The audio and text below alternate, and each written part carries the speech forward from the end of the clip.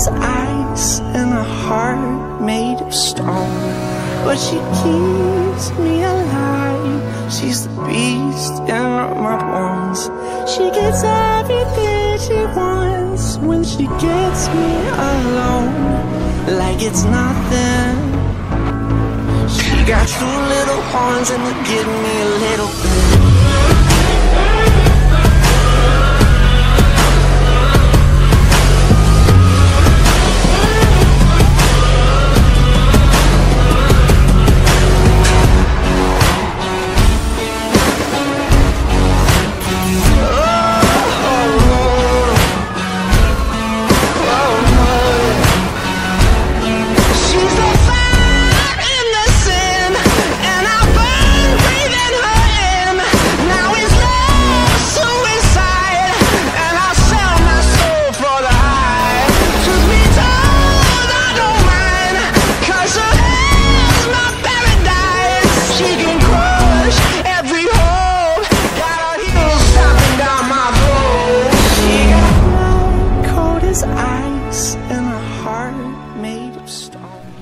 Everything has a breaking point, and we are quickly reaching that breaking point from events that transpired in the last episode.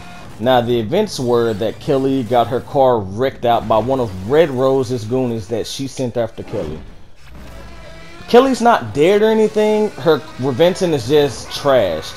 Now, Laura is pissed about this situation because they wrecked out her baby sister and Laura has work that she needs to do, and her specific job is to go take out Red Rose. But here's the thing about it Laura's attitude is getting in the way of her work again that she needs to do. And this is the bad thing about it Red Rose's Goonies find out what Laura has planned for Red Rose, and that is not good at all. At all. So, dealing with some of the goons, they tend to get a bit cocky at times because since they're taking someone two on one, they tend to think, okay, we got them. I'll sit back and let you beat the living crap out of them and kill them. But this is the thing about it Red Rose is too preoccupied with someone that is secretly helping Laura and her siblings out to make the streets a safer place for them, for themselves. His name is Marcus. Marcus is going to keep Red Rose preoccupied. And little does Laura know, one of the goons that she's fighting, he is the same exact one that got Ranton arrested. So, let's see what Laura has packing.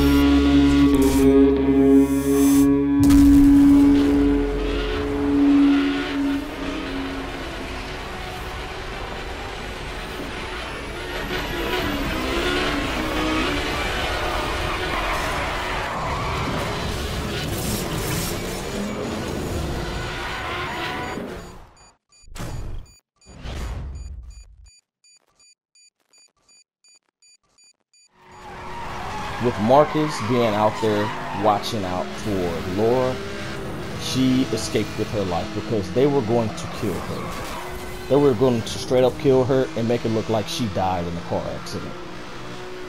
Now, Laura doesn't know one of those racers out there was one of the same exact cop that arrested her boyfriend, Ranton. So we all know what's going to happen. Laura finds this information out because the cops can switch between names. If you guys didn't know that about them, they can switch between names, and they can seem like one person, but they are a completely different person under the race, under the cop side. Excuse me. You won't know who is who until it's too late. So Laura finds this information out from Tim Bagels. Tim Bagels feeds this information to her. And we know how she is. She doesn't know how to control her anger and stuff. And she goes after that same exact cop that arrested Ranton. Let's see what's going to happen to Laura now. Good luck, Laura.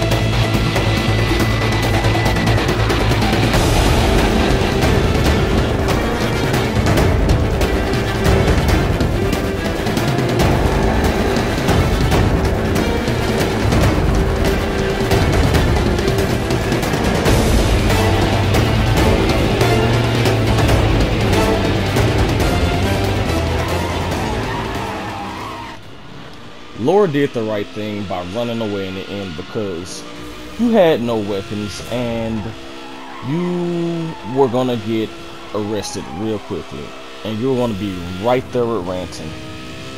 You barely escaped with your life three times, woman. How can you keep doing this? But this is the end of the video, everyone. And I don't know what to say now because I'm running out of stuff to say. But I will see all of you in the next video. And enjoy the new credits that I made for the video. front row for the spotlight. Now the diamonds in the out of my bright. Just overseas for a fight flight.